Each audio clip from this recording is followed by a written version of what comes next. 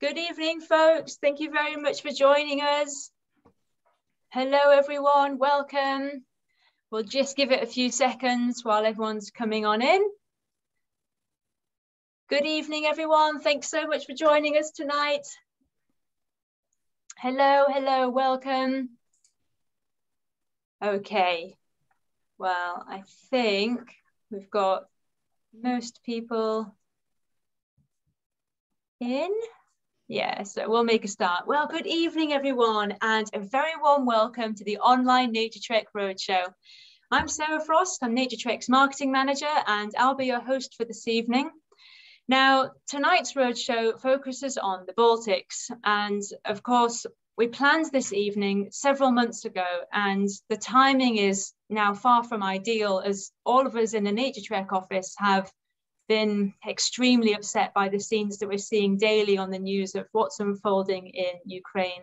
We did consider cancelling this evening, but we want to show solidarity with our guides and partners in Estonia, Latvia, and Lithuania who are once again really going to struggle for income for another year.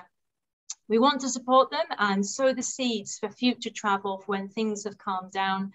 So these presentations are very much for whetting people's appetites and talking about the great wildlife of each destination, but we're not anticipating running tours to these areas for the foreseeable future.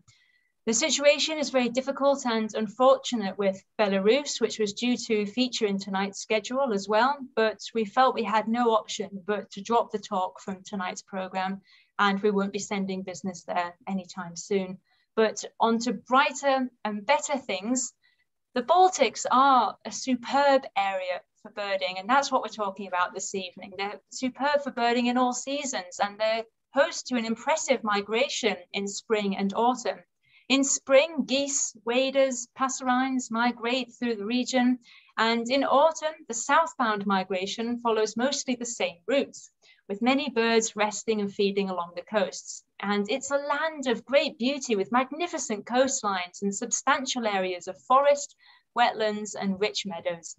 And to take us to these wonderful countries, I'm joined by two of our knowledgeable tour leaders, David Morris and Kevin Elsby, Operations Manager Alison Steel, and it's a great pleasure to have Marius and later on Rugili joining us from Lithuania live, who will be able to contribute to Alison's talk as well. So a very warm welcome to all of you. Now, as always, folks, please do ask as many questions as you like using the Q&A section at the bottom of your screen. We'll answer all of these at the end of the evening. So I hope you're sitting comfortably with a glass of wine and some nibbles. And now taking us to Estonia is David. Over to you, David. Sarah. Uh, so yeah, good evening, everyone. Um, I'm uh, yeah, David Morris. Uh, I've been working with Naturetrek as a, a tour leader for uh, about 15 years, I think, this year, somewhere of that order. Um, and my day-to-day job, I work for the RSPB as our uh, operations manager for um, uh, Cumbria and Northeast England. Um, yeah, tonight's tour is mostly going to feature around the Estonia in Spring tour, which I've been doing for about eight years now, uh, working alongside my Estonian counterpart, Matti Koos. Um, I think Estonia is an absolutely fantastic country and probably shares a lot of uh, commonality with many of the other Baltic states that we'll be uh, hearing about tonight. But for me, the first time I went there was utterly blown away by the kind of wildlife, the people, the landscape, the culture, the habitats. And it really, if I want to sum Estonia up, is it, it's kind of like Eastern Europe meets Northern Europe in terms of the sort of birdic avifauna and some habitats that are present there. Bit of geography for those that are not too familiar where Estonia is. It's the most northerly of the uh, Baltic states uh, right up at the top end of the Baltic against the uh, the Finnish Gulf, just south of Finland, um, north of Latvia, and uh, just slightly to the west of Russia. Um, it's probably one of um, Europe's most underpopulated countries, um, and probably certainly one of the most kind of underdeveloped in terms of the habitat. But that doesn't by any means mean the country isn't uh, underdeveloped. It's a it's a very modern um, pleasant uh, country, uh, fantastic people, fantastic cuisine, standard of living. It's a, it's a really great place to go and enjoy a holiday looking at nature. Um, the trip that we do is a three stop trip.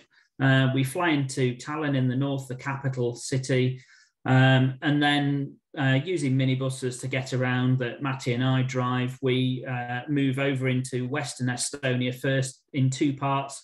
Uh, we spend the first part of our trip uh, up in the uh, northwest of the country, uh, up, up above Matsalu Nature Reserve, um, staying just outside a, a little village um, there, Ruslepa. Um, and then we move further south down past Pärnu into staying at a, a, nice place just outside of a village called Häädemeeste uh, on the coast there, before then moving east uh, towards Mooste, where we stay uh, over towards the Russian border to explore the sort of different uh, landscape and species in the east of the country. So flying to Tallinn, as I say, rather delightful modern city, very colourful. Um, pick up our, our minibuses, meet the group, and then off we go into the Estonian countryside. At that time of spring, it's a really great place because you've got this kind of changeover. I think that Sarah set out there where you've got this mix of wintering birds and some of the spring migrants and some of the summer breeders all colliding at that same time in around mid-May. I think one of the first things that really overwhelms you as you're driving west through the Estonian countryside on, on route to our first hotel is just the quantity of things like geese, particularly kind of barnacle geese, bean geese in particular, out feeding across the Estonian countryside. We arrive at our first stop, which is a, a, a really nice selection of kind of uh, wooden uh, log cabins in amongst the kind of native pine forests there uh, familiarize, ourselves, familiarize ourselves with uh, some of the kind of wildlife there, which are not too dissimilar to anyone in Britain, but uh, often encountering things like red squirrels, uh, crested tits, uh, some waxwings moving about, and sometimes sort of displaying in there amongst the pine woods. And then for those that want to just stretch through the dunes uh, behind the pine woods onto uh, some really nice beaches along the kind of Baltic Sea coast there, uh, where that time of year kind of migrants like kind of whinchats, stone chats, uh, swallows, martins, things like that are starting to move their way through the country on the way up into the Baltic. So get to bed having enjoyed a nice meal, um, ready for a, a, reasonably early start to go out into the woodlands um, at, at, dawn to try and find some of the specialities of that part of Western Estonia. Uh, the woodlands there really fantastically diverse, all well managed, uh, productive woodland, as well as some kind of really nice ancient, uh, kind of fairly more extensively managed woodland and really some of the woodpeckers are some of the kind of star treats of the show that many people go on the trip to see. So generally have a, a, a good week um, seeing plenty of these. So things like top left we've got uh, syrian woodpecker middle spots we get great spots lesser spotted. There's a missile like black woodpecker skirting through the image there as well as kind of woodpecker relatives like wryneck which are just found all around uh, where we stay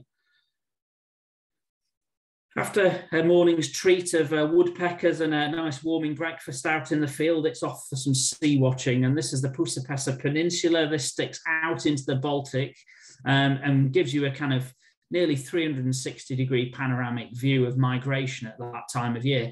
It's one of the best sea watching experiences I've ever had in my life. Um, absolutely fantastic at that time of year with a kind of range of kind of ducks, geese, auks, divers uh, birds of prey all starting to move through. So some of the species there, big numbers of um, geese, beans and uh, barnacles particularly pushing through, Bewick's and whooper swans, some still knocking about kind of in wintering populations, good populations of things like black-throated diver, um, lots of sea duck, huge numbers if, if the conditions are right of things like long-tailed duck and eiders, often flying over your head, giving amazing views um, and kind of velvet scoter there, bottom left.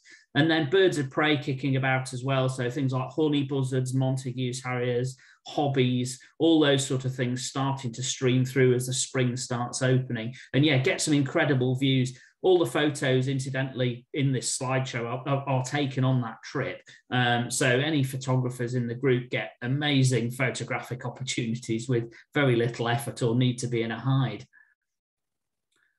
We then move out from sea watching to sort of explore the middle of the day into the landscape. That time of year, cranes are returning back to their breeding ground. So you've got birds bugling away in the edges of forests and bogs here with a bit of a light snowfall at that time of the year.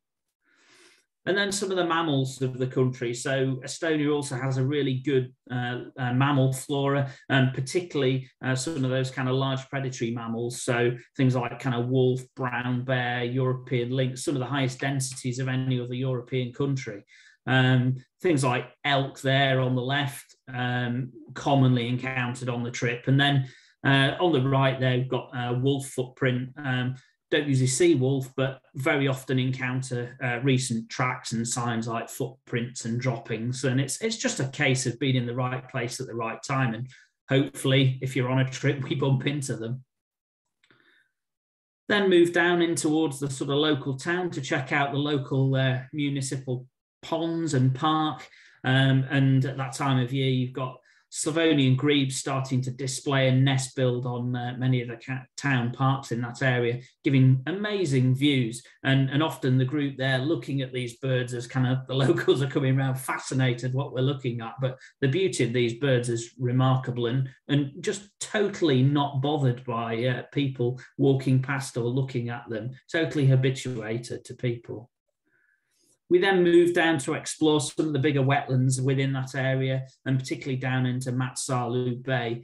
Um, this is a huge nature reserve and kind of complex of really extensively managed wetlands, uh, Baltic meadows, and uh, one of the largest reed beds in Europe within Matsu, Matsalu Bay. Uh, this is a fantastic viewpoint from um, the uh, viewing tower at Haeska, somewhere where we stay um, and visit, have lunch or an evening meal barbecue there um, to enjoy a really good afternoon's birding. Quick plodge into some of those reed beds around there, and we've got things like redneck grebes courting and nest building, uh, blue throats clicking from uh, the reeds as we go through the, the boardwalks that intersect into these wetlands as spring's really starting to unfold. Now, this is Haeska, um, this is a lovely traditional Estonian thatched property, um, which does um, guest accommodation and also provides us with some really nice meals out in the field. Um, and the tower hide there that you can see in the background sets the record for the most species seen in 24 hours at any point in Europe. So really fantastic panoramic viewpoint where you've got vast quantities of uh, wildfowl waders and a range of other species that can easily be seen from that place that time of year, um, big flocks of ruff starting to come back through. The kind of colourful males busy displaying about. Um, really good place to see at Haeska. Um, also, birds starting to set up territory in some of those wet Baltic meadows. Geese are plenty. Uh, these are greater white fronts often with the lesser number of lesser uh, white fronts in there, bean geese, as I say, bar, mostly barnacles at that time of year, and often with the odd red-breasted goose thrown in for good measure. And usually, what's keeping them up in the air is uh, good quantities of uh, white-tailed eagles that are doing really well in the country, and particularly feeding on some of the kind of wildfowl and stuff around that Baltic coast, and give brilliant views. I mean, incredible numbers. Some days up at that viewing tower at Haeska, you, you're sat there and you can see kind of 10, 10 white, whitetails at any one point, just keeping the kind of cranes and the wildfowl and the waders up in the air. Back to the hotel to enjoy uh, one of many fantastic sunsets over the Baltic coast before going back out to uh, to look for some of the kind of more crepuscular uh, goodies in the woods behind where we stay. Uh, good range of owls that we encounter, uh, greatly assisted by Matty, who leads the tour with me, who's a local Estonian and a bird a conservationist out in Estonia. Um, and he earlier on in the spring is doing various bird surveys in the woods around there and really helping to pin down territories of these birds, including species like uh, pygmy owl here, this, this, by the way, was a, an absolute chance encounter we had with a bird that uh, came out really early on in the uh, evening in full light, and again was totally not phased by us next to the road where we were we, we were watching in a forestry track, and then again came back the following morning, and that bird was still there about Our second uh, stop for the trip, as I say, we're moving further south down the Baltic coast towards the Latvian border um, and staying just outside uh, uh, home village, actually, of Häädemeeste.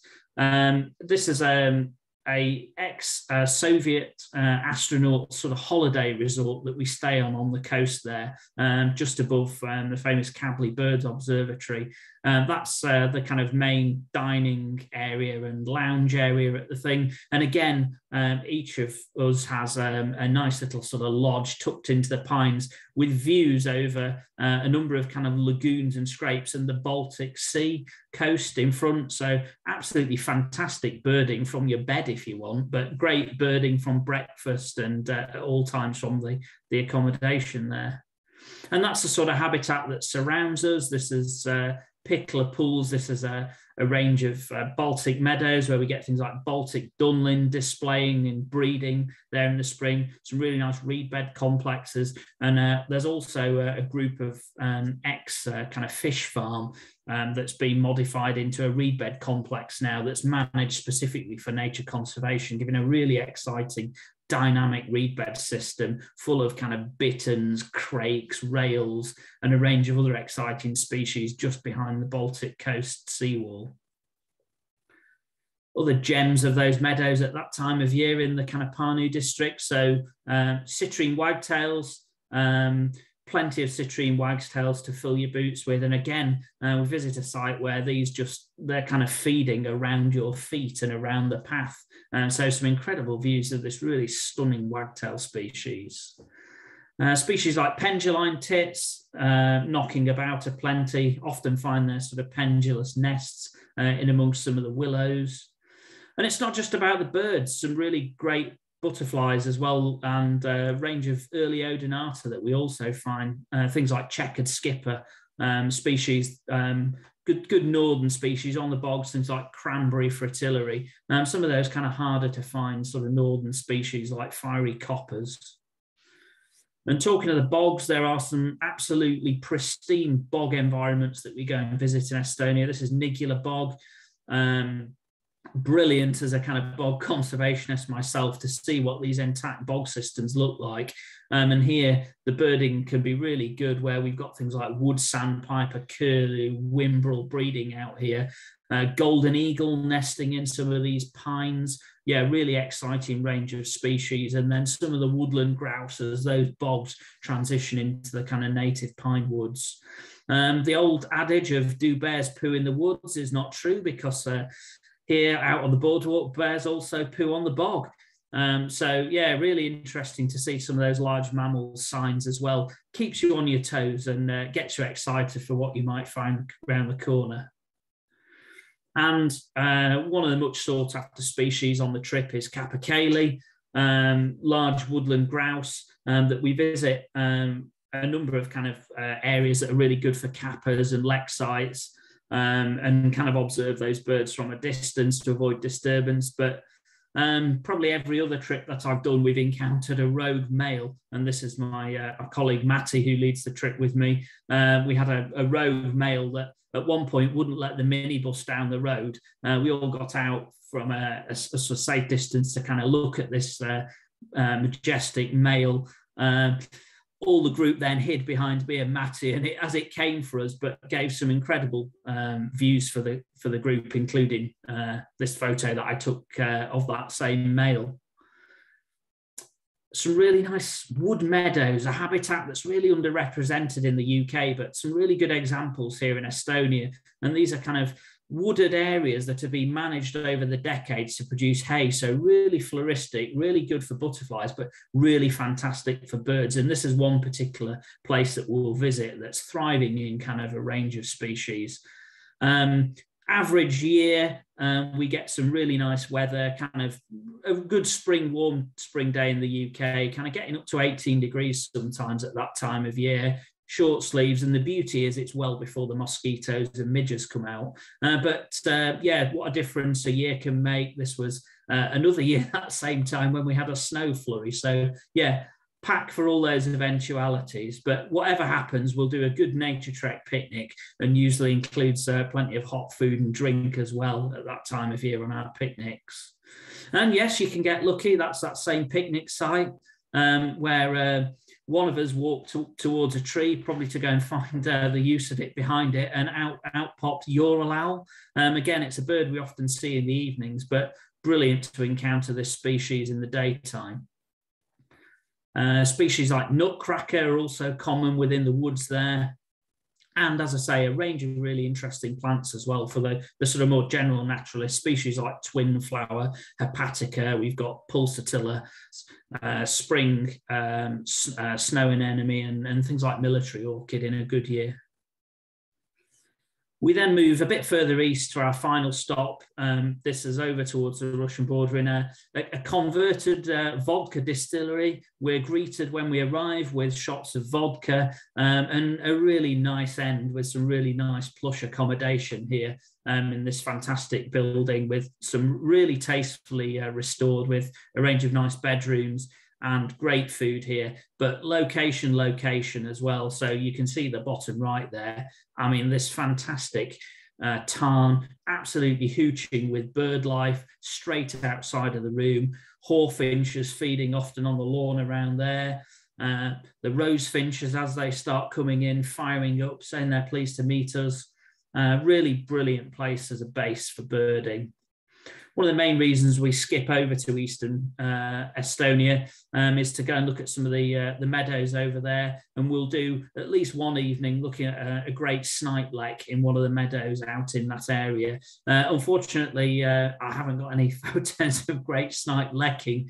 Um, certainly, uh, my dust capabilities of my camera are not that good, but we do get some really good views where you can kind of observe them jumping about and hearing them calling. So yeah, certainly one of the best uh, great snipe lekking experiences I've had in Europe um, on this trip always bumping into black grouse everywhere. Although I must admit, this is the first time I've seen black grouse in a field full of onions. Um, and this is just testament to the kind of really extensively managed countryside out in Estonia, semi natural habitats bumping into really quite extensively managed uh, farmland where many of these species are really doing well but also out in the east of Estonia is also some really good woodland and the start of the sort of boreal taiga forest as well, which is where we get some of the other woodland specialists that we don't see in the west so much. This is one of those sort of woodlands that we go in, some really fantastic trails to explore. As you can see, the wood anemones, the spring flowers are coming through and the birds are starting to come out. We're obviously concerned in the UK about the decline of species like wood warbler top left. I mean, the woodlands in this area are absolutely hooching full of wood warblers and that sort of spinning coin display that we hear. We've also got stuff like greenish warbler top right, and then some of the other uh, specialists that we go in there, things like red-breasted flycatcher, you can see down the bottom right. Um, and again, all, all the woodpeckers really well represented there. And again, if you're lucky, bump into a Ural owl. And this was a nest site we just happened to chance upon in a collapsed old birch top with the female sat there. Now, Ural owl do have a tendency to be a bit narky near the nest. So definitely one to keep a distance from, but really observe. And we've we've actually been back towards uh, that nest site, and that, that that bird has returned for the last three years. I've been doing this trip, and she sits there patiently, and we can observe from a distance away, even in the daytime, to get really good views of that bird. So overall, I definitely recommend Estonia as a top birding destination for anyone with a, a real desire to see a great mix of sort of spring passage and the end of winter birding um, with some great food and some great people in a really nice country. That's it for me. Thank you very much, David. That was a fantastic talk and really well illustrated there. I absolutely love the photographs of the uh, the capercaillie. Just fantastic, very enviable. Kevin, over to you now. If uh, you're ready to take us to Latvia. Oh, thank you, Kevin. Right, you need to just unmute.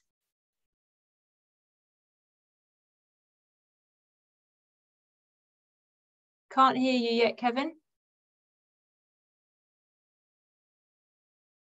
And if you're able to turn your camera on as well. That's better. Can you hear me and see me now? There we go. We can Sorry hear and see that. you. And it looks like you're somewhere very cold. Right. Okie dokie. Your background. Yeah. um, what about what about the screen? Are you seeing the right screen? The screen is fine. Yeah, Fantastic. we've got Latvia full screen, looking good. Take Thank it away. You. Thank you, Sarah, and uh, good evening, everybody. Um, those of you don't know me, I've been a, a, leader for Naturetrek for about 20 years now. Um, my profession was in the medical profession, actually. I was a GP for 30 years, but I've been a naturalist all my life. Um, I apologize in advance, by the way, if I, if I do cough and splutter through this, because I'm one of the many in the throes of recovering from COVID at the moment. But uh, I think before I start, it's probably worth saying that there's going to be a, a degree of overlap here in my talk with what uh, David's already presented to us. And that's really a, a measure of the uh, similarities, if you like, in the wildlife across the three uh, Baltic states in terms of the wildlife and also the, the geography and the geology of, of the three. But nonetheless, I'm going to be talking uh, about Latvia and um, you'll see some similarities and hopefully some differences too. And certainly, from my perspective, Latvia also is a great country to go and uh, discover the wildlife of uh, that part of Europe. So, without further ado, here's a, a map to orientate you. Uh, hopefully, this mouse will work. You can see we'll fly from, from London on a, on a flight direct to Latvia, to Riga, the capital of uh, Latvia. And Riga is actually, interestingly, I think, it's got one of the best airports I've ever been to. Uh, it really is a super airport. So here's Riga in the center, and uh, this will be our first sort of area to one of our first areas to, to visit the Kemeri National Park. But really, we'll start at Cape Kolka uh, on the Gulf of Riga, just over here. And this island here, Sar Saaremaa, I was actually on there last week. This is part of Estonia. So you can see there's a very good close proximity between Estonia and uh, Latvia, with obviously Lithuania down at the bottom of the map. And as I said at the beginning, there's a lot of similarity and a lot of overlap. So we'll start our tour here at Cape Kolka. We'll have a couple of uh, nights there exploring the area and particularly the, the spit that points out into the Gulf of Riga. Then we'll move uh, eastwards, calling it Kemeri National Park, and then we'll be based for our second uh, a few days at Lake Lubāns in, in the sort of east central uh, Latvia.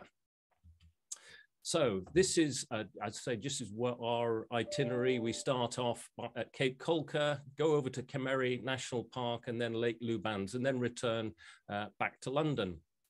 Now, um, this is um, the capital Riga, and it's a very historic city, uh, similar in many respects to Tallinn in terms of its interest from archaeological architectural points of view. And there will be opportunities either at the beginning of the tour or at the end of the tour to take an extension or a, or a pre-tour uh, stay in uh, Riga to have your own sort of exploration and the company, Naturetrek rather, will be able to set that up uh, for you and help you out on that. So why do we go to Cape Kolka? Well, the main reason is of its juxtaposition jutting into the Gulf of Riga. These big arrows, at the time we're, we're going to be there in May, represent the sort of flight paths of birds that are coming up from uh, Southern Europe and, and, and Africa and further east up through into Northern Europe and beyond for the breeding season. And also, obviously, there's a potential for birds to move from the east of Europe and concentrate in this area uh, of, of Latvia. So this will be our first stop on the Cape uh, uh Kolka. Excuse me. And this is the sort of typical view we get here and uninspiring fields you may think, but nonetheless, they are really worthwhile exploring because they really do concentrate a lot of the spring migrants in these bushes and in these uh, in these trees. Now, obviously, uh, I'm sure you're aware that migration, the best time for migration is uh, dependent on weather conditions. So we need the weather to be right for uh, really good migration. On the other hand, it's good at any time, but if the conditions are absolutely right, these bushes can be more or less dripping with redstarts and, and uh, other migratory birds that have come up from the south on their way further north or to, to breed in, in the Baltic region. Traditional sort of um, church that you would go past in Cape Kolka uh, just walking from our accommodation to the, the actual uh, beach itself and the, and the point where we will be able to look out just showing you a, a, a, view of inside the, the place that we stay near Cape Kolka. Simple, but very, uh, very comfortable, great food, uh, very, very friendly people. And, you know, we, we really do have a good time staying here. All sort of mod cons as well, as you might imagine. So anyway, what, let's get to some of the, the reason we're going to be going there, which is the birds, really. Um, so the migratory season in May in the Baltic regions, it can be absolutely superb. And some of the birds we will hope to see will include things like tree pipit, uh, which migrate in great numbers in, into this part of the world in the spring. We'll even have birds like brambling. Bramblings, obviously, to us in the UK, they don't breed in the UK. There are one or two that do breed in um, in uh, Latvia, and we should certainly encounter them on on many of our days as we're going around the country. Um, there are lots of redback shrikes also. Some of them are migratory, just passing through, but nonetheless, there is still also a breeding population of these lovely birds, and we should certainly get ample opportunities, not just to, to see them, but those who are keen photographers will uh, be uh, more than pleased with the opportunities for photographing them. Other birds to find are more tricky, perhaps a little bit less showy than a redback shrike. So birds like pied flycatcher, for example, a bit more hidden in the bushes, but that's one of the joys of bird watching at a migratory hotspot. You never know what you might encounter. And we rely on each other in a group to be able to look for uh, birds and, point things out to each other as we go along. That, that's always a good philosophy birds like the rosefinch as well as as david pointed out not only are they beautiful to look at but they also have a wonderful song in the springtime and there's normally a good population of rosefinches knocking around uh, the Kolka area as well as throughout the rest of the places we visit in uh, Latvia. Some of the more uh, obscure, if you like, birds we might encounter are things like Blyth's reed warbler. Now this um, is a, fairly um, subdued color, colored bird, more often heard than seen, but we, they have such a very distinctive song that once you get your eye in, we should certainly be able to pick out a few of those because this these birds breed in Latvia and we certainly encounter them on a reasonably regular basis. So it's a great opportunity to, to get, a, you know, a really good view of these birds, which are actually quite rare in Britain uh, as passage birds. And then more familiar birds, perhaps like the bearded tit here, very distinctive. Lots of those around the coast uh, of the Kolka area with the big reed beds that are, are associated with that part of, of Latvia. And other reed bed specialties, uh, things like the great reed warbler. This is a bird that's about as big as a song thrush. It's much bigger than a common reed warbler. I've got a very, very distinctive song. And there are many of these also spread around uh, the many reed beds and a, a, suitable habitat within the country, but not just on the coast, but also uh, at Lake Lubāns, where we end up in, our, in the second of our two-stay trip. And David mentioned the, the wildfowl, the waterfowl in this part of the world on the coast. And it, as far as Estonia is concerned, and Latvia is no less uh, well supplied with them. And this is a long-tailed duck in flight. This actually, I took this photograph last week when I was in Estonia. And there were thousands upon thousands of these birds on the coast uh, and the Gulf of, uh, of, of uh, the Baltic there. And this is typical of not just this time of the year, uh, but also, hello, but also in the spring in Latvia. And if we're really lucky, we may encounter these birds too. This is Steller's eider. This is a, a very much declining seabird nowadays, found in the uh, Baltic uh, not only in Estonia, but also on the coast of Latvia. Everything depends on the particular circumstances, weather-wise, uh, appertaining at the time of our visit. But this is certainly one to keep our eyes out for. And also, uh, the, they're not just um, ducks on the, the Gulf, but there are also birds like uh, black-throated diver, uh, reasonably common. This is obviously a bird in summer plumage, so the ones we would encounter are probably not going to be as well adorned as that, but you never know. Depends on how far advanced their breeding cycle is. But also many, many thousands of common cranes. Cranes breed in good numbers in Latvia, but there are also substantial populations that pass through heading further north uh, into Scandinavia. And we will certainly encounter uh, these birds, dramatic uh, at any time, but especially at dusk when you hear them gathering together to roost and their, their bugling call. It's very, very evocative experience. And as David mentioned, birds of prey are always on, on the menu to, to look for. So if we've got top left, we've got honey buzzard, top right, hobby, bottom right, rough-leg buzzard, and bottom left, pallid harrier. But, you know, there's a huge diversity, not just of uh, birds of prey, but many, many other species of birds to be uh, on the lookout for in this part of the world. And going back to the, the reed bed areas or wetland areas, as David mentioned, this spectacular wagtail, the citrine wagtail, breeds in reasonable numbers. They're nowhere very common, but they breed in reasonable numbers in Latvia. And uh, we've certainly got a very good chance of catching up with them. So what do the habitats look like? Well, this is the sort of area around um, uh, Lake Luban, or uh, National Park, I'm sorry, not Lake Lubans, we'll get to that in a minute. And just to show you a little bit of some of the habitat around there.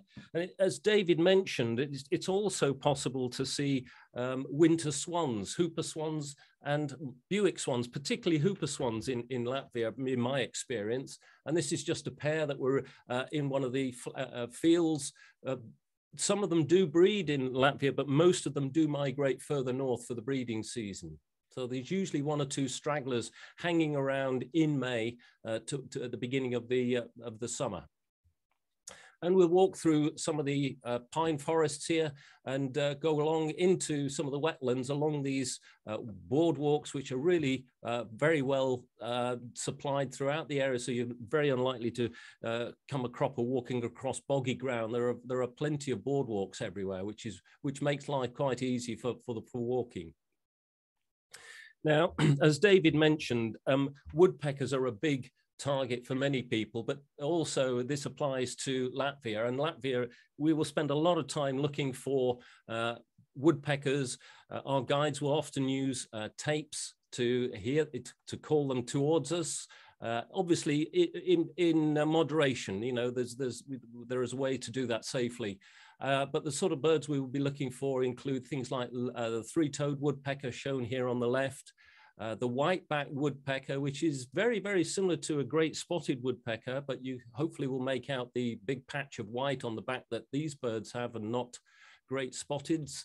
Um, middle spotted woodpecker, it's one of my favorite of the, uh, the European woodpeckers, this bird. And uh, also probably the most dramatic of all, as David's pointed out, the black woodpecker. And this is a really big bird. It's as big as a jackdaw, uh, really powerful beak very often very noisy, like all the other woodpeckers in the in the springtime, and that's how how we can often pick them out by their distinctive calls. And of course, another species of woodpecker not to forget is wryneck, and there are plenty of wrynecks to be found uh, on the trip uh, while we're in Latvia. But other small birds, greenish warbler, as David's pointed out, red-breasted flycatcher, hawfinch, and the long-tailed tit. This is the northern version of the long-tailed tit, much, much more attractive, in my humble opinion, than the one we have to put up with in Britain. And uh, they really are like little snowballs with long tails, the, the northern long-tailed tit. It's almost worthwhile going on a trip to the Baltics just to see one of these. They are so stunning uh, as little, little balls of fluff.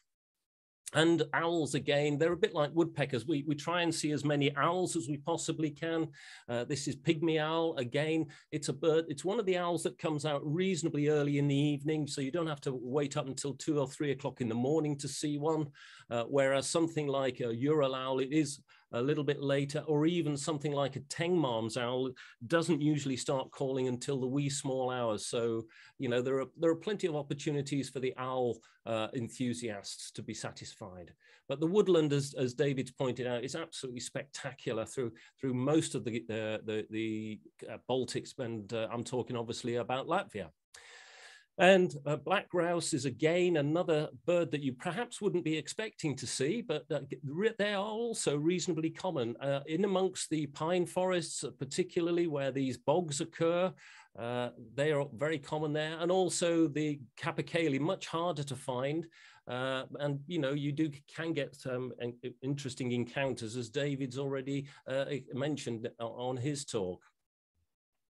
So this is a view over the uh, reserve at Kirkenes, and um, that's the sort of area of wetland that you can be uh, exploring uh, along these tracks and roads. There's wonderful variety of waders and, and marsh birds, as well as birds of prey. Birds like white-tailed eagles, again, flying over periodically, putting all the birds up.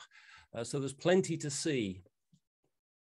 Lots of reed beds everywhere for, for the reed beds to be uh, nesting in. So now we move uh, further east to our second uh, accommodation and our second part of the holiday. And this is in the area of Lake Lubans. This is our accommodation. And uh, just to point out, the internet out there works extremely well. They're very sort of uh, high tech. I'll give you an example. The last time I was in that building, I'm a Liverpool supporter, and uh, Liverpool playing Tottenham Hotspur in the Champions League final. Everybody had gone to bed, and I, I had perfect internet to watch the cup final uh, from that hotel. So, just to give you an idea of the, the uh, infrastructure. So what can we see at Lake Lubans that we haven't already encountered? Well, there's often a good passage of marsh terns. So in, on, in this picture, we've got uh, several white-winged black terns and a couple of black terns. And uh, these will be passing through at our time of the visit. And they can be found in the area around where we'll be staying at Lake Lubans. And other smaller birds in the marshy areas, things like the little crake, a very unassuming but very attractive bird. This is a male wandering sort of very, very quietly through the reeds. They don't, they're not very obvious at all. So you really do need to keep your eyes peeled to get a glimpse of one of these. And there's a good population of, of wading birds, either um, breeding birds or passing birds, pa birds passing through the country. Uh, so if we got here is a wood sandpiper standing appropriately enough on a piece of wood. And then we've got ruffs. There's a, a, a population of ruffs, which are often uh, to be found at the right time, lekking. This is what they do in the breeding season. The males uh, trying to outdo each other. Uh, it's a bit like uh, the old-fashioned discotheques, I always imagine. The two different males here, a male with white ruff and a male with a more traditional brown ruff. And they're just trying to out compete each other uh, for the attention of a female. And then birds like marsh sandpiper, we can usually come across several of these birds in some of the wetter areas, and they're a beautiful bird at this time of the year in their spring plumage. Uh, with that needle-shaped beak, very, very much more of a diminutive green shank, really. And again, birds like redneck grebe breeding uh, in breeding plumage. This one is on one of the lakes, uh, Lake Lubans. There's, there's several areas of uh, wetland here and uh, reasonably common bird to see. Nice to see them in breeding plumage. The ones we tend to see in the UK uh, are mainly in winter plumage. They don't breed, uh, they're not a breeding bird in Britain. And then more, more colorful birds still with, with blue throats singing uh, from the uh, vegetation around the area. Very distinctive calls these birds have, and they're very beautiful to look at when you get them in light like this and more familiar birds, perhaps redstarts. There are plenty of redstarts uh, to be found in Latvia on our trip over that, over that course of that week. And even familiar birds like redwing, which don't breed in Latvia, they fly further north for the spring, but there's usually a population knocking around uh, by the end of May, middle of May, that we can still find and add to our trip list. And even more bizarrely, birds like barred warbler can be found uh, in the spring in uh, Latvia. They're not a common bird anywhere, but they do look very, very dramatic when you get a view like that. But of course, as I mentioned earlier, uh, the birds of prey are really dominated by the eagles, and this is particularly the, the, the particularly commonest one, the white-tailed eagle, with the white tail that these adult birds have. The, the juvenile birds get a progressively whiter tail as they as they mature. It's only the adults have a pure white tail, and these are still, thankfully, reasonably commonly encountered uh, throughout the country of Latvia. So just like David, I, I would certainly advocate a trip to Latvia. Uh, and, you know, the, the people are incredibly friendly. The infrastructure is excellent. The, the countryside is superb. And most importantly of all, the wildlife is fantastic. So I will stop there um, and I will leave, hand over rather to Sarah. Thank you so much, Kevin. That was a fantastic talk. And I'll just see if I can. There you go. You stop sharing your screen. Brilliant. Right, folks, we're going to go to a short break now. We have 10 minutes. So if you would like to uh, nip to the loo, top up your wine or beer uh, and top up your glass of um, your bowl of nibbles, that's absolutely fine. We'll be back at uh, 25 past eight. Now, by request, instead of playing our usual interval, interval music, I'll instead display my fish tank for you. This is a request I had a couple of weeks ago after doing it for our cruisers evening. Um, so I've got a couple of kitchen chairs to stack and balance my laptop on. Hopefully it'll work. Um, so bear with me and uh, I'll be back with you in one minute where you can sit and enjoy my fish. They've been looking forward to this all day. So I hope it works. See you shortly.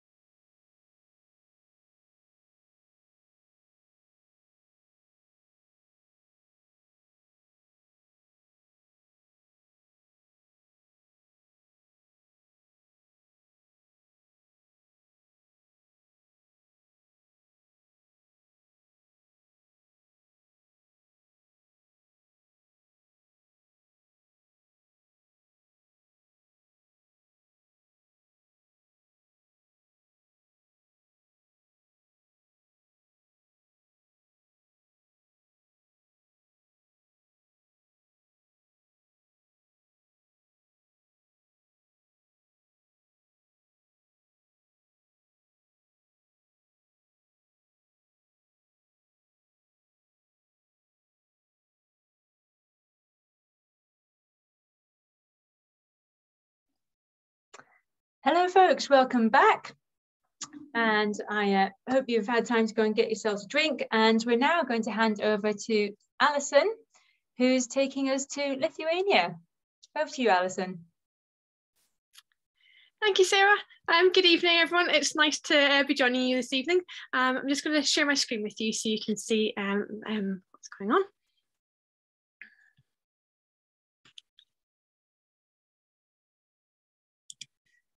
Okay, so this evening I'm uh, going to be um, sharing a little bit with you about our tours to um, Lithuania.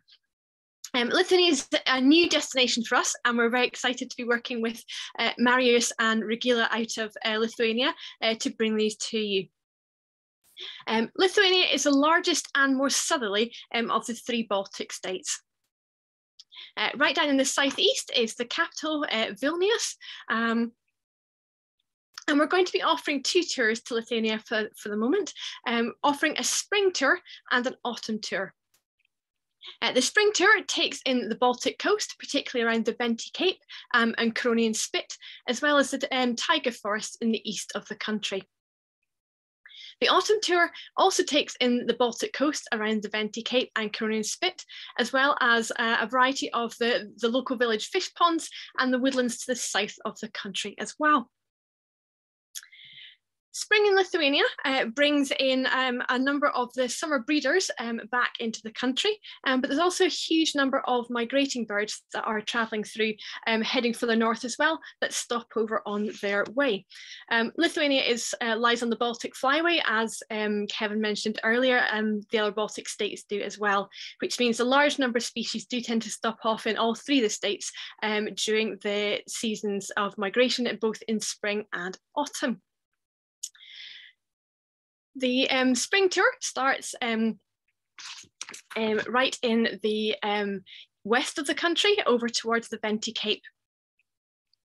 Um, around here, um, around the uh, village fish ponds and along the coastal areas, we'll be looking out for species such as uh, Slavonian and red-neck grebe, as well as pochard and tufted ducks.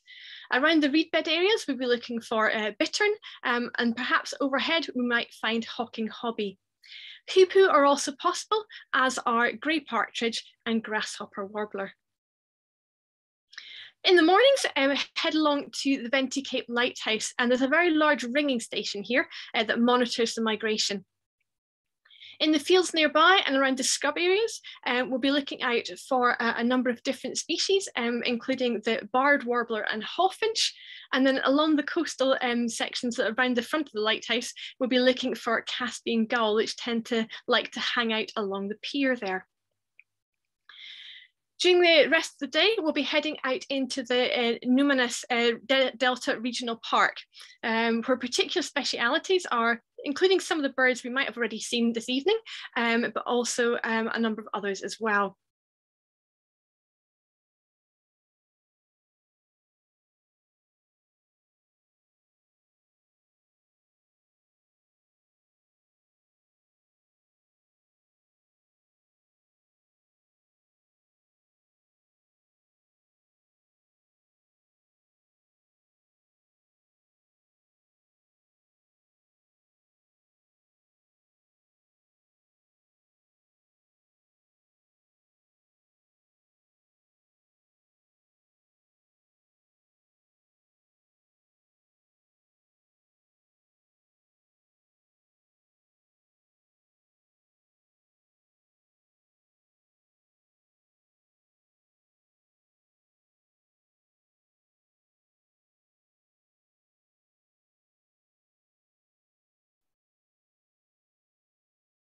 Dear, folks, I think we've lost Alison. I can't see her anymore, or and Kevin is just coming back. That's strange that uh, that's strange that Alison has gone. Just stand by for a second, folks. We'll just see. Ah, I've had a message from her saying the computer connection has cut out. She's trying to get back online. Right, okay. Well, as she's just trying to get back online, we also have Marius here joining us live from Lithuania. Marius, hi. Marius. Hello. Hi. Thank you very much for, for joining us. Just while Alison's coming back online. Do you want to uh, introduce yourself and, and say a few things? Yeah, actually, I'm a Birding Lithuania company leader and I'm a guide as well. So we are organizing birding tours in uh, Lithuania for eight years already for different European countries. I'm very pleased to be invited in the Naturetrek team as one of the destinations for Naturetrek just uh, two years ago. Of course, because of the COVID situation, uh, Corona, it was not very good uh, uh, start for us, but I'm very happy. Last autumn we had uh, the first tour with you, and now uh, we are planning for the uh, this year the spring tour in Lithuania, which is really very interesting personally for me because it is the longest tour for us, and uh, it is a nine days long, starting in the western part of Lithuania. Alison and Solar have already told a little bit about this and uh, starting in Nemunas Delta, later Curonian Spit later eastern part of the country. So yeah, this tour is one of the most special because of those uh, eastern specialities you can find in Lithuania, like uh, citrine wagtail, great snipe, uh, greenish warbler, tree-toed woodpecker, owls, and many more other species. So yeah, it's uh, one of uh, one of our main tours the foreigners are interested to come for. And of course, auto migration is really amazing, but I'm giving the word to Alison. I see she's joining already. Thank you so much, Marius, for tiding us over for a couple of minutes there. We can't wait to come back to you and we'll look forward to hearing uh, yeah. more from you in a moment. So thank you very much. Alison, yeah. if you'd like to pick up where you left off. I, am really sorry about that. Uh, some technical issue decided my computer was going to restart, so um, I do apologise about that. Um, let me see if I can pick up where we uh, left off. We had a, a photograph of a, wryneck and uh, some other some other birds. That was your last slide, I think. Oh, the hor- uh, hawfinch actually. Barred warbler. Sorry, I'm thinking of something else. Yeah, hawfinch. Yeah. Okay, Great, apologies about that. All right, so um, yeah, heading out into the uh, the Nemunas Delta region, um, we'll uh, pick up species such as the the citrine wagtail, um, also species such as uh, the black tern um, or and little gulls as well. Montagu's harrier um, can also be found, um, as well as a number of other species, including blue throat, spotted crake, and uh, ruff, perhaps the males in breeding plumage. If we're very fortunate, we may find a couple of the, the local specialities, uh, which include the great snipe and the aquatic warbler. Uh, one day we'll be heading out to the um, raised bog, uh, where there's um, a, a, boardwalk through the marshland areas, a bit like you get in both um, Estonia and Latvia as well. Here we'll be looking for species such as the golden plover, um, or perhaps uh, great grey shrike as well. In the surrounding birch woodlands, um, there are a number of uh, smaller bird species we'll be looking to pick up here, um, including uh, the wood warbler, golden oriole, tree pipit, and the lovely black woodpeckers as well.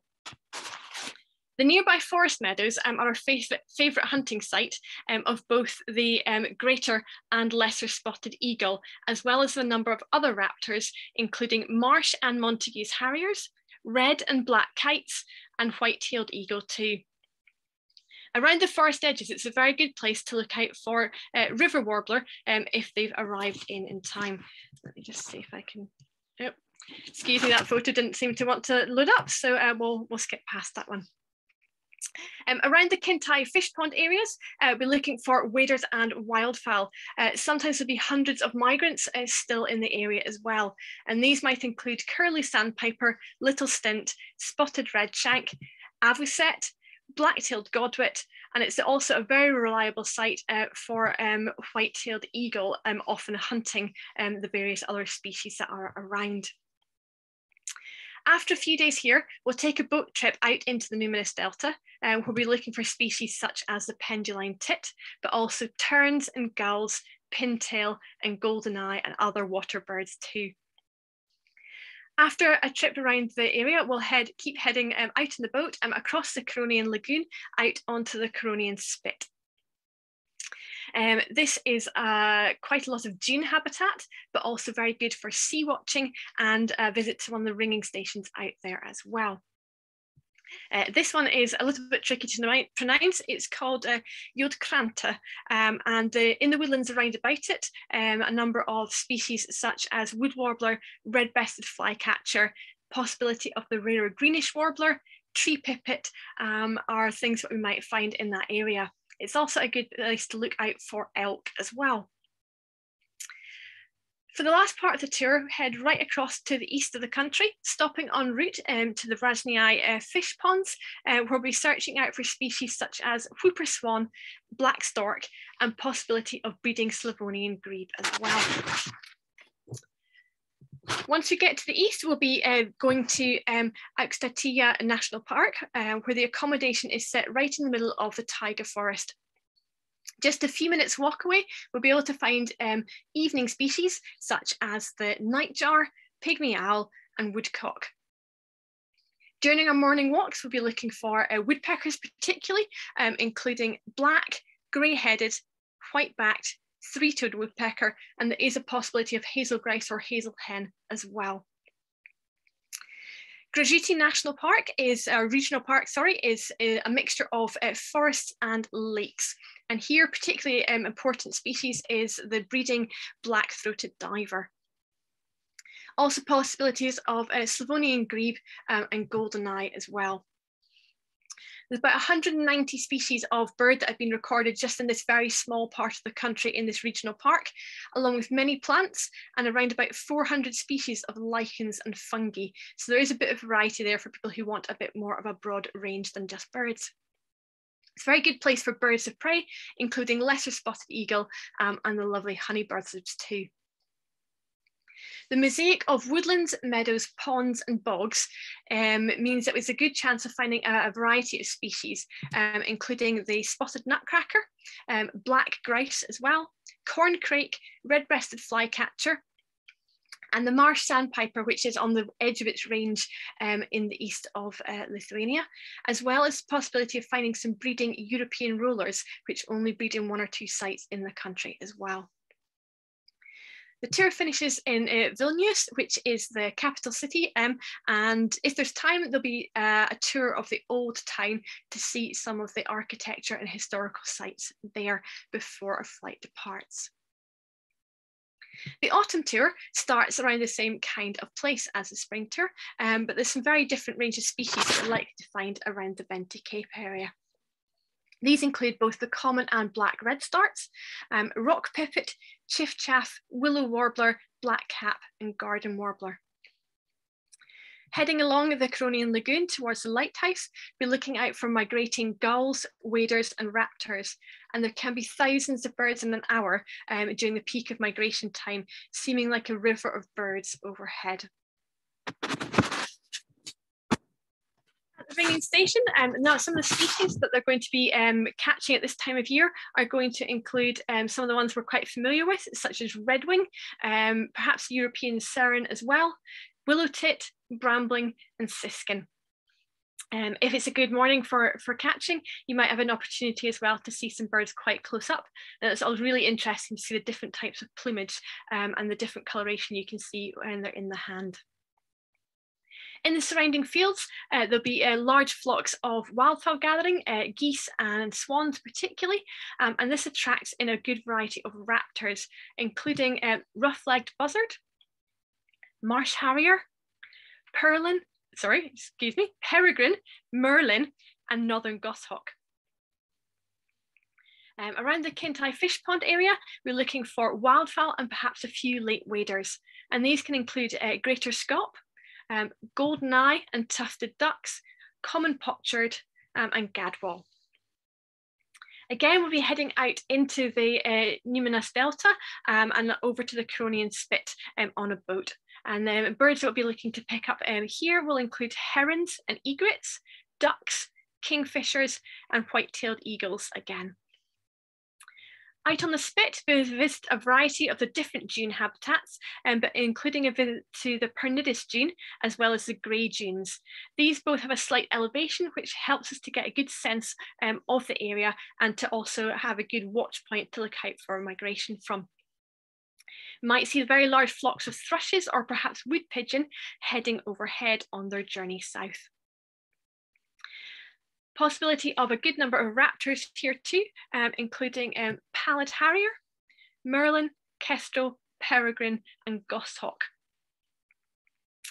Around the fishing villages, uh, the gardens can be a good place to look for some rarer species. Um, and these might include things such as the yellow browed, Pallas's, or dusky warbler. Red flanked bluetail um, and Siberian chiffchaff are also possibilities that can turn up as well. Common species that we'll see around the village areas will also include things like skylark, meadow pipit, and woodlark.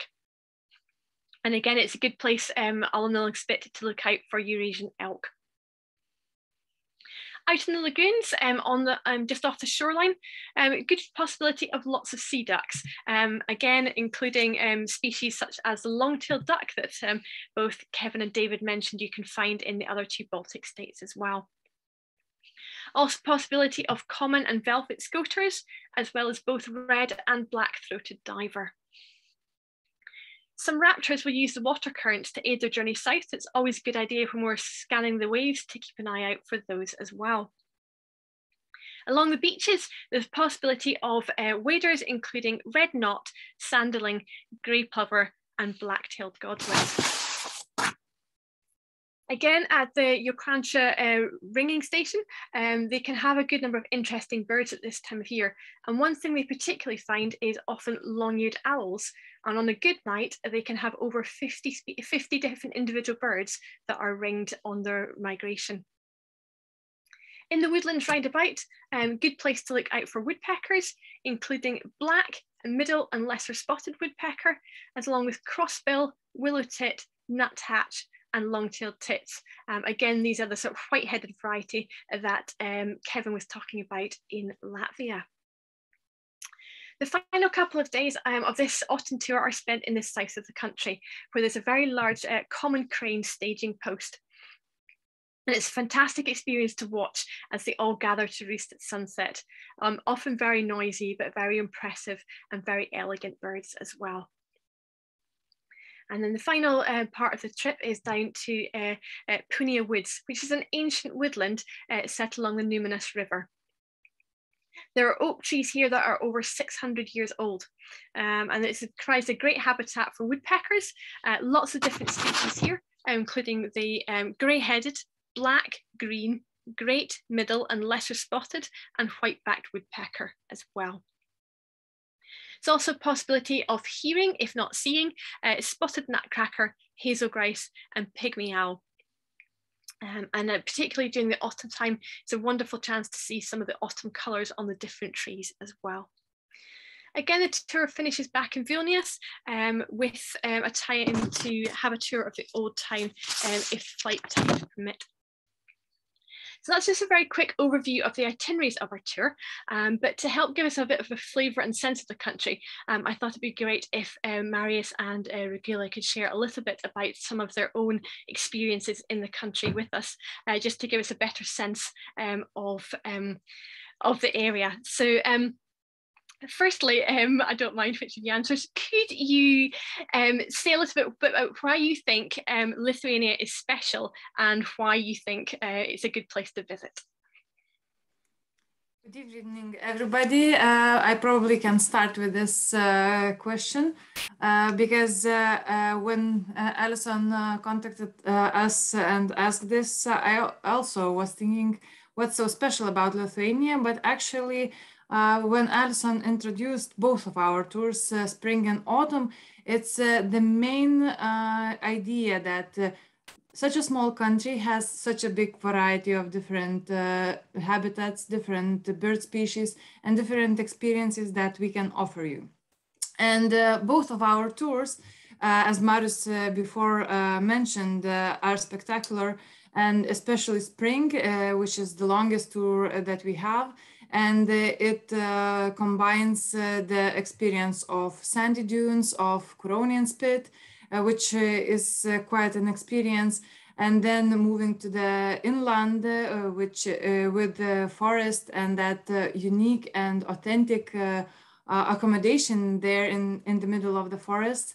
And I think these um, feelings you get from watching birds on the Curonian spit and seeing that flyway of, of Baltic, it's, it's really nice and, and great, great impression so I think that's that's the main uh, thing that we can offer: the variety of habitats, uh, variety of different species, and uh, different locations, and uh, at the same time, the authentic feeling of Lithuania. That's great, thank you. Um, can you just explain a little bit about what the accommodation that we use on the tours is like as well?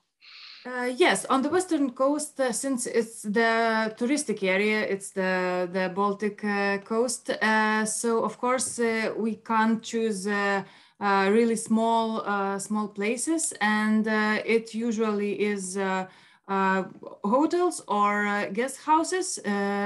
Uh, which with the standard uh, accommodation. And on the eastern coast uh, and the southern coast we have more uh, rural uh, accommodation when you get uh, the experience living in the in the middle of the nature. And these type also are really um, showing the Lithuanian uh, historically and uh, uh, cultural experience. So, so that's pretty much two type of accommodation we get. Of course, both of them, they have the level of uh, standard European uh, accommodation, uh, which includes good quality of food and good quality of different rooms for for the guests. but in general, you get the feeling both from uh, the standard European and then uh, to the rural and authentic Lithuanian. Great, thank you. Uh, talking about food, can you maybe say a little bit about, about what type of food is traditionally Lithuanian um, and also what type of food is typically served at the hotels and accommodation? Uh, yeah, we uh, during our uh, tour uh, we focus, of course, on European cuisine, and uh, we don't uh, try to, I don't know, surprise you too much. Uh, but uh, at the same time, uh, we try to introduce to traditional Lithuanian cuisine. And it's pretty simple, actually. We love potatoes and we love meat, and that's that's what we eat the most. but of course, there are some of well, just uh, wish of tasting uh, some of the Lithuanian dishes, which is not that uh, culturally uh, Uh, common uh, across the Europe, but uh, we try, for example, uh, cold uh, beetroot soup šaltibarščiai, which it might be might become uh, in favor for some uh, tourists, but uh, the others, the pink soup doesn't look that delicious. But at the same time, we also offer the possibility to choose and to have a tasting experience if somebody is interested in that. Uh, and on the other hand, there is also always possibility to have just traditional European cuisine. Great, thank you. Um, do either of you have a favorite place in Lithuania to visit um, and why? Mm, I think, well, I, I can uh, just uh, say mine and then Marius could follow. Uh, I think uh, mine specialty is Nemunas Delta uh, since it's uh, the great uh, numbers of birds and uh, impressive uh, impressive sights in the spring and autumn as well. Great, thank you very much. Next to Marius. Yeah, I, I, just fully agree with Rugilė. The Nemunas Delta is really impressive, and uh, I think that's what uh, what makes Lithuania special and different from uh, other Baltic uh, countries. And uh, yeah, it's really huge area of flooded meadows. And when the flood gone, so all those species, meadow species, which come back from south and southern parts of Europe and, and uh, Africa, India, we start to breed there. So yeah, Nemunas Delta is very special in spring, but uh, for autumn migration, Curonian Spit, it's a very special place. It's 100 kilometer long, uh, narrow piece of land between the Curonian Lagoon and the Baltic Sea, which separates the continental Lithuania to, to, to the Spit. And it's actually in autumn, it's like a highway for birds because all those birds were coming from, uh, from north, from Estonia, Latvia, they are really concentrating on this narrow piece of land and the concentrations of birds, especially in the end of September and, and beginning of October, sometimes reaches amazing amounts of birds just flying overhead, like uh, it's like a river, birds in the sky, and uh, it's you can ha hardly count count those those birds just flying overhead. It's the feeling is really phenom phenomenal, and uh, yeah, that's that's the feeling I really like, especially in autumn, in the end of September and beginning of October, and uh, of course to to, to, to try to separate those species because there are also many northern specialities coming from Scandinavian countries, from Western Russia, Siberia, and uh, uh, together with them also there are some uh, all those uh, rare specialities like yellow-browed warbler or dusky warbler. Of course it's very very hard to distinguish those birds but we're always uh, focusing on them and trying to find those those rarities yeah. So i think those two regions uh, Nemunas delta and Curonian spit. I think that's uh, quite different and that's the i think the goal to visit in our country and that's i i really like them Right, thank you very much. Um, I think that's um, given us a really good flavour of the country and, and given us a really good, good idea about what kind of um, experience you can have while you're there. So thank you very much uh, for sharing with us um, and thank you everyone at home for listening. Um, I'm going to hand back to Sarah now. Thanks very much, Alison. And thank you so much, uh, Maris and Rugilė, for those uh, questions and that great insight to your um, to the, the culture and the wildlife of your country as well. We'll now go to any questions. If any of you have any final questions to, to ask, uh, you're very welcome to put them to us. Please do just pop them into the Q&A section now. We have had a few questions put to us throughout the evening, so I can just uh, put those to the, the panelists. They have been answered already, but sometimes answering them verbally just allows you to answer the question a bit more fully. So um, David, a question for you. Are there dragonflies uh, in Estonia um, at the time of year that you lead our trips? You're on mute.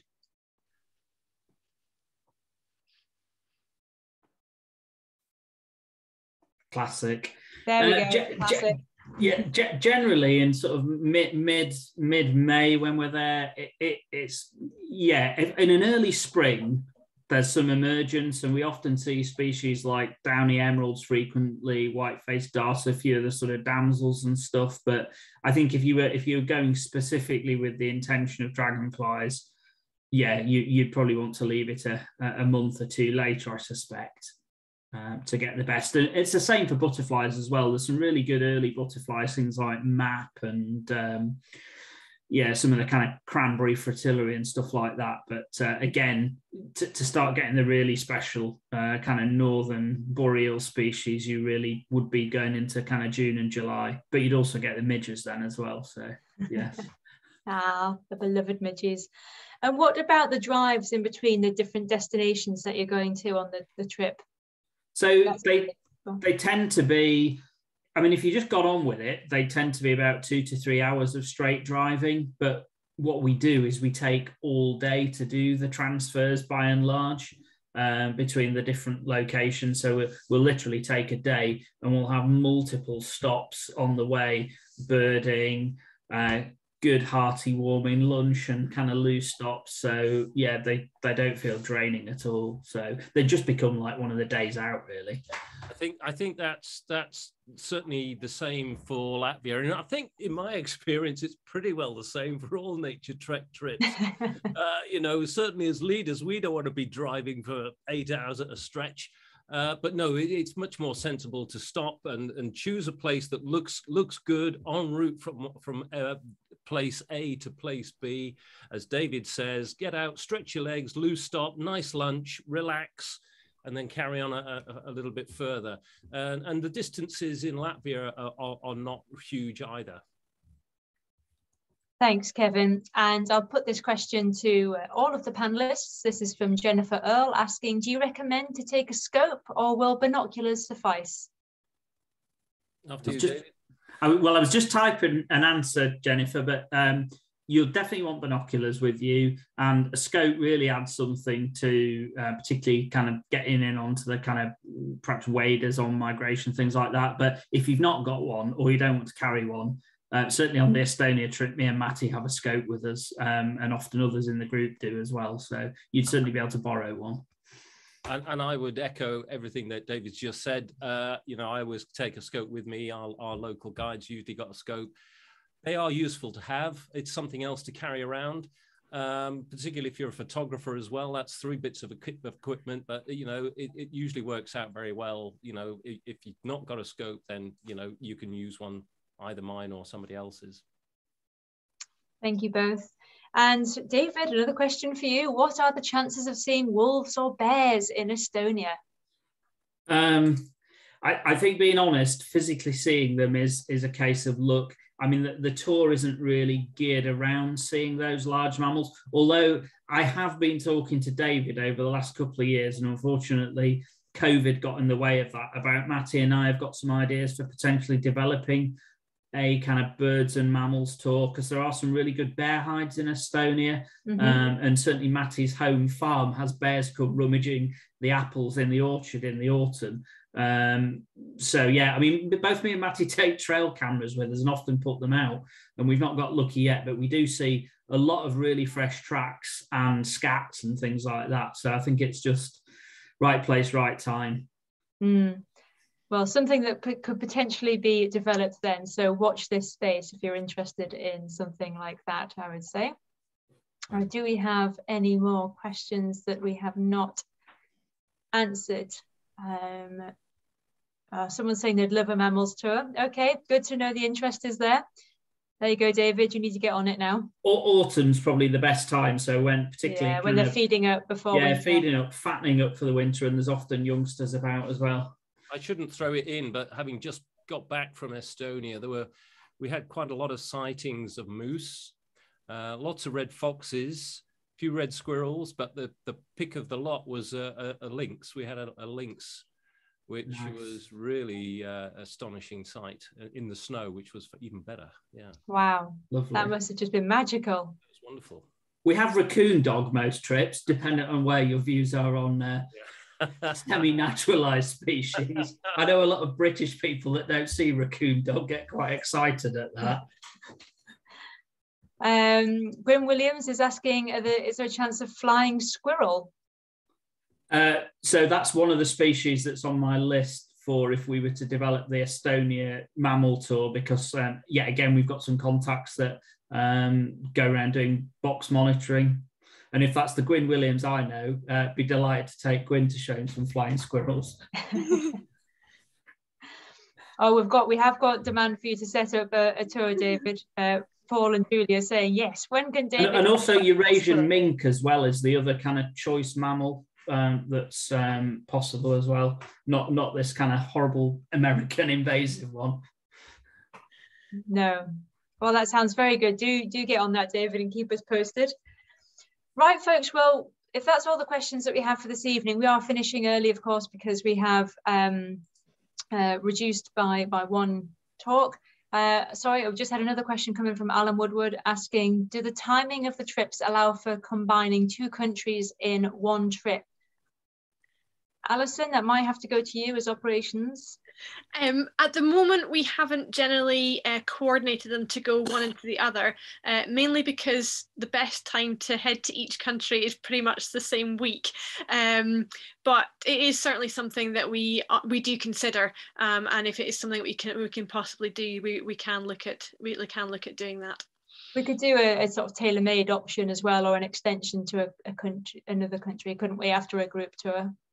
Yeah, yeah, definitely. We could definitely extend to a different Baltic state um, if you wanted to do one tour and then do a few days and another one with a with a local guide. Yeah. Right, folks. Well, I think. Uh, oh, Jill, you said you put a question earlier. Has it been answered? Uh, yes, that has been answered. Um, it was from David. This is about the population of Capercaillie in Estonia. Uh, David, you did comment on that. Yeah, so in terms of in terms of cappers, I think that the data I've got is about twelve to thirteen thousand lekking males. Um, I'm not sure about the black grouse numbers. That's significantly more. Uh, but like the UK, cappers are not doing particularly well at the moment. They're on the decline, and raccoon dog potential is one of the uh, the issues with them as well. Right. Okay, great. Well, thank you all so much. And thank you all for your very lovely comments that you're all putting in the chat. I'm so pleased that you've enjoyed the evening. A big thank you to David, Kevin, Alison for your talks tonight. And a very special thank you to Maris and Rugilė for joining us this evening. The enthusiasm that both of you have shown for the wildlife of Lithuania was really just infectious, and it's been lovely to listen to you.